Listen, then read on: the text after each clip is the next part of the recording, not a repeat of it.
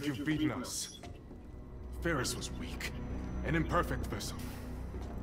But in that sample is the key to unlocking a centuries-old dream. That's not failure, Mr. Lee. That's progress. And it belongs to me. Nah. No, no, no, I don't think so. Please.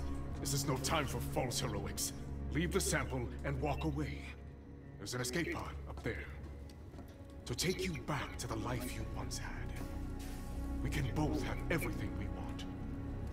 So tell me, Mr. Lee, what do you want? I'll tell you what I want. I want my sister back, fucker!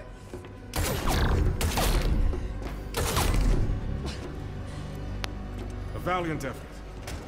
But surely you know by now, I never lose. No. This time you do.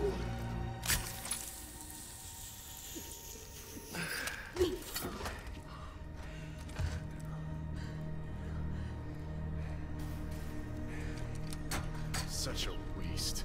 All this to save one life. Don't think you've stopped us. The data gathered here will carry the protocol to the next phase. As for you, Self-destruct sequence initiated. goodbye, Miss Nakamura. And Mr. Lee. I do hope you've enjoyed your stay at Black Iron. Reactor core approaching critical. Go this way. Run! Move!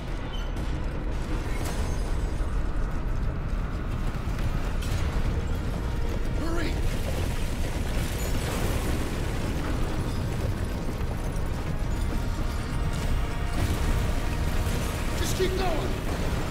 We gotta get to the escape pods.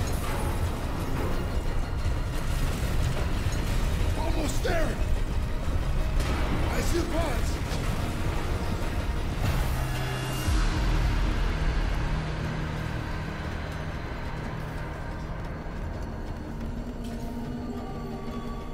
There's just one.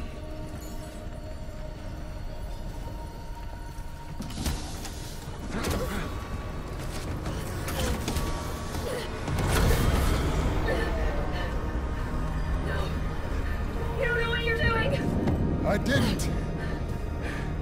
But I do now. I can't keep running from what I've done. What are you talking about? Sorry. For everything. I do belong here. Don't do this! Jacob! Jacob!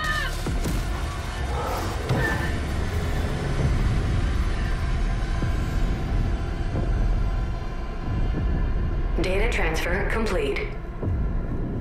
That transfer worked both ways. He learned more about me, and I learned more about him. In the chaos of the moment, I didn't realize he had also given me the evidence I was looking for all along. He Sacrificed his life so that I could expose the truth.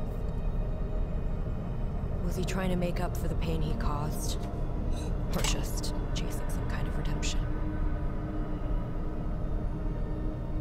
Either way, I hope he found some peace.